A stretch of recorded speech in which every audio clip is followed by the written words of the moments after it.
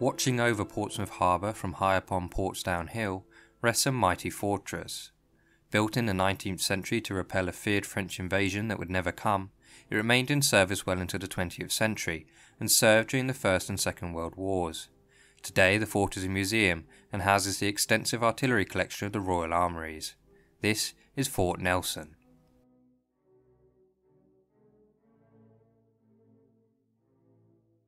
Fort Nelson is what is known as a Palmerston Fort. The Palmerston Forts were a string of defensive structures built throughout Britain during the latter half of the 19th century, due to concerns over the expansion and modernisation of the French military and navy. In the year 1853, France and Britain had entered into an uneasy alliance against Russia during the Crimean War. However, after the war ended in 1856, relations between the nations deteriorated. That same year, the leader of France, Napoleon III, decided to strengthen and reinforce the French port of Cherbourg. This port lay just across the channel from Portsmouth, Britain's premier naval base and home to its largest military asset, the Royal Navy. The strengthening of Cherbourg helped cause fears of a possible French invasion to peak. The Prime Minister of the time, Lord Palmerston, described Cherbourg as a dagger pointed directly at the heart of this country. As a result, he helped to organise the 1860 Royal Commission on the Defence of the United Kingdom, which proposed the construction of new fortifications at strategically important sites throughout the country. In the event of war, the defence of Portsmouth was obviously crucial. Unfortunately, its current defences were considered outdated and inadequate. Various new defences were planned, including five large fortresses to be built upon the strategically significant location of Portsdown Hill. This hill overlooks Portsmouth Harbour, and it was considered vital that this location did not fall into the hands of invading French forces, since it was the perfect location from which artillery could bombard the naval base into submission. The British knew such a plan could succeed, since a similar strategy had been employed against the port of Sebastopol during the Crimean War, ultimately leading to its fall. Fort Nelson was designed by the Royal Engineers, with the overall design being drawn up by William Crossman, a Royal Engineer under the Inspector General of Fortifications. A polygonal fortress was planned, with practically every angle of approach covered by multiple guns and loopholes, designed to catch invading troops in the crossfire. The fort was named after the revered Admiral Horatio Nelson, who led the British fleet at the Battle of Trafalgar, where the combined navies of France and Spain were defeated. Nelson was killed during the battle when he was shot on the deck of his flagship, HMS Victory. This ship is still docked in Portsmouth at the historic dockyard and is the world's oldest naval ship still in commission. A memorial to Nelson stands a short distance from the fort and was erected in 1808, several decades before the fort and even Nelson's Column in London were built. Fort Nelson was just one of five forts planned to be built on Portsdown Hill. Construction of the forts was not supported by the public at the time, who derided the loss of what was considered recreational grounds. The annual fair held on Portsdown Hill was cancelled, and farmers who lost crops had to apply to local authorities for compensation. Despite the public outcry, purchasing of the necessary lands was accomplished quickly, and construction of Fort Nelson would begin in May of 1861. The contract to build Fort Nelson, as well as two of the other forts, was won by a civilian contractor named William Treadwell, who had previous experience constructing large railway projects. Treadwell had also quoted the lowest price of £54,236 to complete the first stage of construction. Construction of the fort was divided into two phases, the first being the creation of the earthworks, digging ditches and erecting ramparts, and the second was the actual building of the fortress itself. The government desired the first phase to be completed urgently, in a matter of two to three months.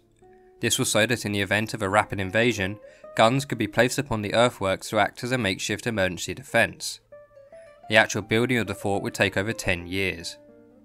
With his knowledge of railways, Treadwell constructed several lines both above and below ground to link the three forts he was building with the nearby town of Fareham, so that supplies could be easily shipped in. Interestingly, the location of some of the subterranean tunnels that were dug remains a mystery to this day. Most of the first phase of construction was carried out by hundreds of navvies. These were Victorian workmen, well known for their prowess with picks and shovels, and for having constructed Britain's massive array of canals, railways, reservoirs, and sewers. It's thought a single navvy was able to move as much as 20 tons of soil per day. It's also said he could drink as much beer as well. The navvies lived in wooden huts close by, and a canteen and beer house were erected to provide the workers with food and drink. Construction of Fort Nelson was completed in 1871, the same year that France would suffer a humiliating defeat during the Franco Prussian War, causing the perceived threat of a French invasion to all but diminish. This unfortunately rendered the purpose of the Palmerston forts redundant, and in time these expensive structures would often be referred to as Palmerston's Follies. Another recommendation of the 1860 Royal Commission was the expansion of Britain's army, with one idea to bolster its numbers being by raising volunteers.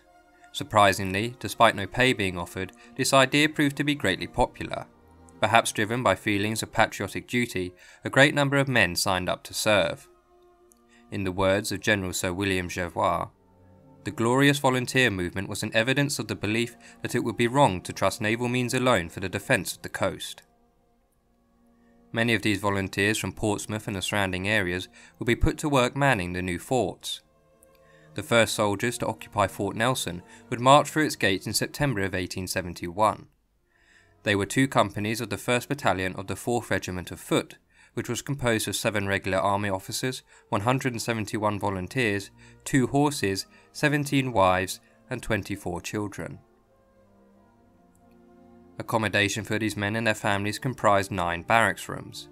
Luckily for them, these new barracks were airy and uncramped. This was largely thanks to the campaigns of the nurse Florence Nightingale, who, after witnessing the appalling unsanitary conditions that soldiers had to endure during the Crimean War, called for radical improvements to military healthcare. Lord Palmerston was an ally of Nightingale, and as a result, Fort Nelson was built with a 10 bed hospital, medical stores, and a dispensary. This is a recreation of one of the original barracks built for the Victorian soldiers.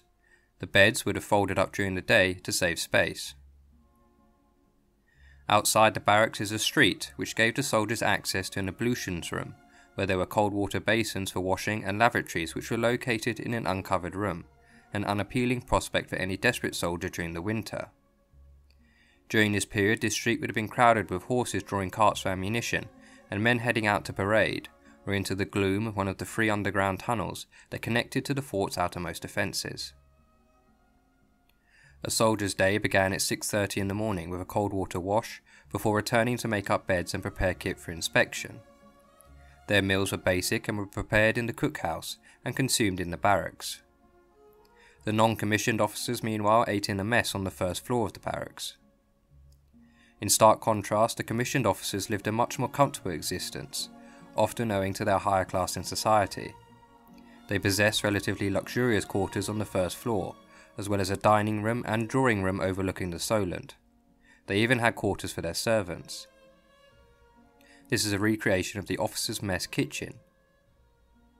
During the 1880s, the British Army performed training drills at the fort, where soldiers would practice defending against simulated assaults, and in 1886 the fort would finally receive its armament.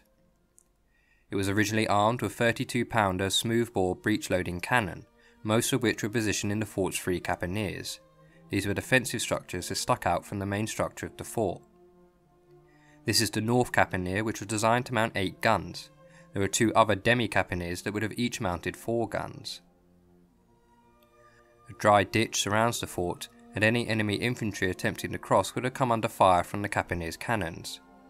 They were often loaded with case shot, which was a thin iron tube filled with lead balls.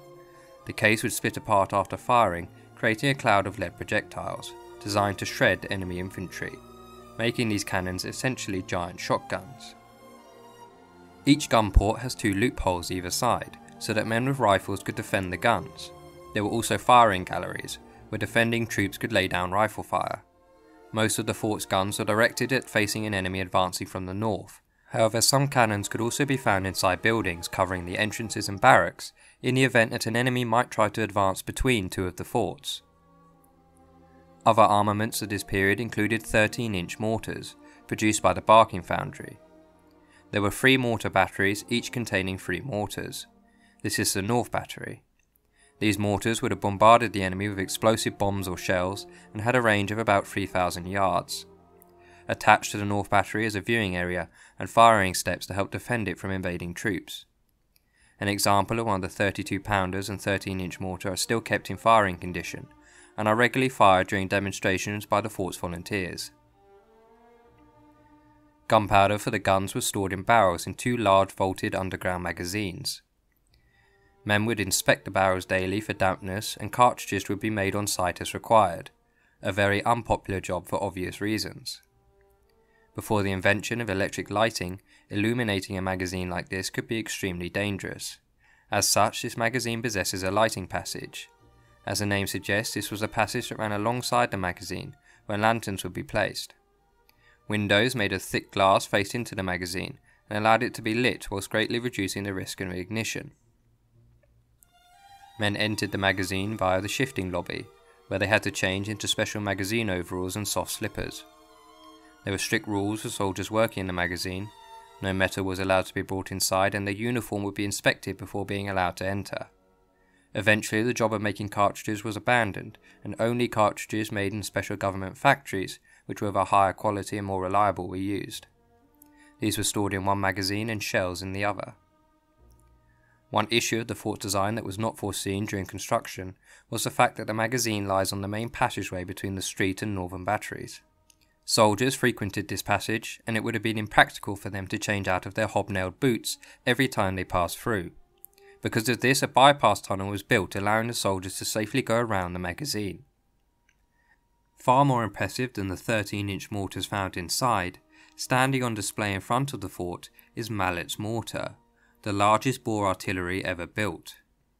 It was conceived of in 1854 by an Irish civil engineer called Robert Mallet, who wanted to create a weapon that could devastate enemy fortifications and be powerful enough to destroy any arch vault. He concluded that a 36 inch shell containing about 480 pounds of black powder would be capable of penetrating 15 feet into the ground and, after exploding, create a crater 40 feet wide. This would generate a shockwave similar to an earthquake and would make the weapon capable of devastating any fortification in existence at the time. This mortar is 1600 times more powerful than the 13 inch mortars stationed in Fort Nelson. Its construction posed a dilemma, however, as a single piece could not withstand the force of firing a projectile up to one and a half miles. To overcome this, Mallet devised a gun composed of superimposed rings in compression around a central tube. The design was separated into several distinct parts, allowing for easy transport and repair. Lord Palmerston was impressed with the design and ordered two of the guns in 1855 at a cost of nearly £5,000 each.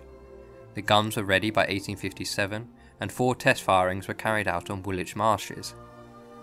A successful firing was achieved and a one ton projectile was sent over one and a half miles. An observer described the slow and majestic motion of these great globes through the air. Despite this, however, most of the tests had to be abandoned due to fractures forming in the rings and an eventual break of one of the longitudinal tie bars. Because of this, the War Ministry refused to spend any more money on the project and it was abandoned. One of the mortars would eventually make its way to Fort Nelson in 1993 and was placed on its concrete display in 1995. Despite the project's failure, Mallet's conception of using built-up layers under tension for more equal stress distribution would birth the concept of the built-up gun, which would inspire William Armstrong to produce his range of guns adopted for service in 1858. By the time of the mid 1880s, France was no longer considered a threat, and with advances in artillery, Fort Nelson's original defensive function was now completely defunct. Because of this, its armament was entirely removed in 1903. Britain's main rival in Europe was now Germany. Unified in 1871, the German state was quickly becoming the most powerful and modern military power on the continent, and Britain had entered a new arms race. The late 19th century saw the rapid evolution and advancement of artillery systems. Most notable was the development of the recoil mechanism, which allowed a gun's barrel to slide back within its own carriage. Hydraulics controlled this mechanism, and it allowed the gun to remain trained on a target without being thrown out of position after every firing. Combined with rifled barrels, breech loading, and improved range finding and sighting devices, artillery was becoming terrifyingly powerful and accurate. A good example of these new developments is this wrought iron 7 inch Armstrong gun from 1862. Although outdated by the time Fort Nelson was constructed, this was one of the first guns of a modern type made. With its breech loading mechanism and rifled barrel, it could fire a 110 pound shell with good accuracy for the time. At the turn of the century, further improvements such as brass cartridge cases and smokeless nitrocellulose powder contributed to the production of vast arsenals of so called quick firing guns. This new technology was setting the stage for the most devastating war the world had ever seen. With tensions rising in Europe, in 1911 Fort Nelson became a training base for a battery of the newly formed Royal Garrison Artillery. Soldiers practiced drills with new artillery pieces like the Ordnance BL 60 pounder, a British 5 inch breech loading gun which would be used extensively during the First World War. When war broke out in 1914, Germany sought the rapid defeat of France in order to avoid a prolonged war on two fronts with Russia. To achieve this, Germany planned to invade France through Belgium, a nation whose neutrality had long been guaranteed by Britain. To do this, German forces had to destroy forts defending Belgium's borders. They deployed huge siege guns like the Krupp 42cm, nicknamed Big Bertha, which made short work of the defences. The beginning stages of World War I involved modern fast moving field operations, with the Germans deploying their 7.7cm quick firing gun, which came up against its French equivalent, the 60 These guns caused massive casualties on both sides and prevented outflanking manoeuvres, causing the fighting to eventually devolve into a stalemate, resulting in a static state of trench warfare, with the Western Front extending all the way from the French coast to the mountains of Switzerland. The British had their own 18 pounder quick firing field gun, which was deployed to the front in large numbers, forming the bulk of the Royal Field Artillery's arsenal. Guns of this type are thought to have fired nearly 100 million shells over the course of the war. Most artillery of this period fell into two categories field guns which fired rounds at low angles, and howitzers which fired at high angles. The Germans were eventually able to combine these roles with the 10.5cm quick firing light field howitzer 16, eventually replaced by this version 18. After the outbreak of war, Fort Nelson became a training base for soldiers waiting to be sent to the Western Front. In order to accommodate the influx of soldiers, various buildings were converted into makeshift barracks, including the empty caponiers and mortar batteries. The hasty accommodation was reportedly very cold and uncomfortable. Private George Weston described it as like being in an opening hole. The cliffs rise up above the grim old fort, shutting out all the sunshine, but not the wind by any means. The First World War was the first truly mechanised war. It saw the rapid development of modern artillery and also the introduction of new technologies to the battlefield, including tanks and aircraft. The First World War was the first major conflict to introduce the use of aircraft as a vital military asset. The British government recognised this as early as 1924, and plans for extensive anti aircraft batteries to defend the nation were devised. These plans wouldn't be put into effect, however, until tensions with Germany began to peak, and by the late 1930s, work on these AA defences had begun. Owing to their importance as major naval bases, close to 60 AA batteries were erected along the coastline around Portsmouth and Southampton. These batteries were mostly equipped with 3.7 inch ack-ack guns and Swedish Bofors 40mm automatic guns for close air defence. Bofors guns were used extensively by many nations throughout the war. Its high rate of fire made it an excellent light anti aircraft gun and was used to defend field armies and fitted upon many ships. A testament to its effectiveness and reliability is the fact it was still being used by Argentinian and British forces during the Falklands War, and a modern version was even fitted to Lockheed AC-130 gunship.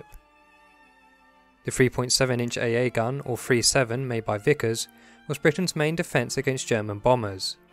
The 3.7 was also used against tanks and other ground targets. Mobile and stationary batteries of 3.7s helped to defend Portsmouth and were supplied with ammunition from Fort Nelson. The German equivalent was of course the famous 88. A very effective AA gun, this weapon could also be used against ground targets and formed the main armament of the Tiger I tank. German propaganda helped to hype the 88 as a wonder weapon, although the British 3.7 fired a larger round at a higher rate and to greater heights. The 37 remained in service until 1959 when guided missile systems began to replace AA guns. A more powerful defence than the 37 was the 4.5 inch gun. Adapted from the naval gun that served on various warships, the 4.5 inch gun was used to defend British naval bases and coastlines. Its larger shell gave it greater destructive power against enemy aircraft than the 37, but by 1944 improvements made to aircraft meant that it would be superseded by the even more powerful 5.25 inch gun, and was eventually declared obsolete in 1951. All of the new AA batteries defending Portsmouth would need large supplies of ammunition, and in 1938 work began to convert Fort Nelson into a massive ammunition store. Ten new brick and concrete magazines were built on the parade ground, two of which remain today. Combining these new magazines with the fort's underground one, Fort Nelson was now capable of storing 42,000 rounds of 3.7 and 5.25 inch ammunition and thousands more 14mm rounds. To assist with the movement of this ammunition, a conveyor belt was installed in the main tunnel leading to the underground magazine. A narrow gauge railway was also placed on the street outside. The ammunition was handled by the Royal Army Ordnance Corps, as well as the occupying infantry. It was very dangerous work to handle such large volumes of explosives, especially on the night of 9th to 10th of January 1941, when the fort was subject to a heavy raid. German bombers swarmed overhead, but the men who manned the fort carried out their duties regardless, despite the fact that a single hit to the magazine could have destroyed the entire fort. This earned the men a commendation for their quote, unstinting efforts in supplying a further 1,220 rounds of ammunition by night to the various gun positions. There were other changes made to the fort during this time. The parade perimeter was concreted and foliage was allowed to grow over the ramparts to help camouflage the fort from enemy aircraft. Lower openings in the outer wall from which cannons had once jutted were bricked up to prevent saboteurs from sneaking in. Part of the western parade wall was demolished and a new western gate was installed to allow the easy passage of lorries, which would enter here and exit on the other side of the fort, following a one-way system. Note the visible chalk blocks, one of the original building materials used during construction of the fort. Numerous pieces of graffiti drawn by soldiers have been found throughout the fort from this period, including this image of a soldier with a Bren gun shooting Hitler in the head. After the war, the fort was used as a storage site for military equipment, but began to fall into disrepair. By the 1970s, the fort was almost completely derelict and overgrown with vegetation. Despite this, it was declared a Grade 1 listed building and Site of Historical Significance in 1971. In 1979, the fort was bought off the MOD by Hampshire County Council, and restoration efforts began. It was first opened to the public in 1984, and in 1988 the Royal Armouries leased the fort from the council to help with restoration. The fort has expanded a museum and carries out regular impressive demonstrations of various artillery pieces. A vast collection of guns is displayed throughout the fort by the Royal Armouries. That's about all I had to say on the history of Fort Nelson, and the rest of this video will be devoted to looking at some of the more interesting pieces from the Royal Armouries' artillery collection. So if you want to see some cool guns, then uh, stick around. Fort Nelson holds thousands of artillery pieces, but the first two guns any visitor sees are Mallet's mortar, which I've already talked about, and this 14 inch Mark 7 naval gun. Guns of this type were built between 1937 and 46 for battleships of the King George V class. Ships of this class included HMS King George V and Prince of Wales, which helped to sink Bismarck, and HMS Duke of York, which helped to sink the Scharnhorst. The shells weighed 0.65 tons and could be sent almost 22 miles, or up to 28 when supercharged. This gun never saw action, however, as it was one of the last of its kind ever made and would never even go to sea, as the battleships it served upon were declared obsolete by the Navy after World War II. Some of the other big guns include this 18 inch howitzer, built by the British in an attempt to break the stalemate of the First World War's trench warfare. It was so large it could only be transported via rail. Only four of these guns were completed before the armistice was signed in 1918. One 18 inch howitzer was stationed in Kent during the Second World War to defend against potential invasion, and during test firings, local villagers were told to open doors and windows to avoid damage from shock waves. However, an eyewitness reported that I remember there was an elderly couple standing by their cottage near where we were shooting, and every time we fired, their roof lost another tile. Technically, the largest gun on display is the Iraqi Super Gun, although really this is just a small section of the barrel.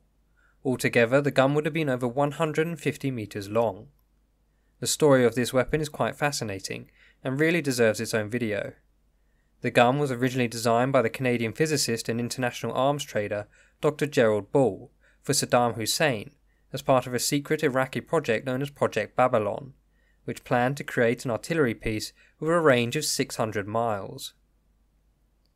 Various companies in Europe were commissioned to build separate pieces of the gun, and this part was made in Britain by Sheffield Forgemasters and was destined for Iraq under the guise of being part of an oil pipeline. However, it was seized at customs before it could leave the country. From big to old, there are some more ancient pieces of artillery to be found, like this 15th century Turkish Great Bombard, which fired huge stone balls. It was ordered by Sultan Mehmet II from bronze founder Munir Ali and was a revolutionary piece of medieval technology. The gun is cast from two pieces, the powder chamber and barrel which screw together. Remarkably, the gun was kept in firing condition until the 19th century, when in 1866 Sultan Abdul Aziz presented it to Queen Victoria. Perhaps the most beautiful gun on display is this intricately wrought Italian piece dated 1773. Most probably commissioned by the Commander of the Artillery of the Order of St. John of Malta for its Grand Master, its barrel was based on one cast in 1864 by Orazio Antonio Alberghetti, bronze founder to the Republic of Venice. It is signed Philippe Lateralis of Rome, who was perhaps responsible for the lavish decoration. Equally stylish is this bronze gun, in the form of a dragon, taken from the Burmese by the British after their victory in 1885. And finally, one of the stranger guns on display is the British Smith gun, a makeshift anti tank gun created for the Home Guard. It was wheeled about on two wheels and was tipped over on its side in order to be fired. Britain had a shortage of anti tank weapons after Dunkirk, which encouraged a retired army major named William H. Smith to create the Smith gun. The gun did not impress the Ordnance Board, but Churchill liked the gun, and so six or seven of them came to be issued to the Home Guard. It had a 3 inch smooth bore barrel and could penetrate 80 millimeters of armour at 45 metres. Well, that's about all I had to say. I could go on for hours if I want to talk about more of the guns. Uh, but this video is already pretty long, so I'm going to leave it there. Uh, big thanks for anyone watching. If you're still watching, I'll see you in the next one. Look at all those guns.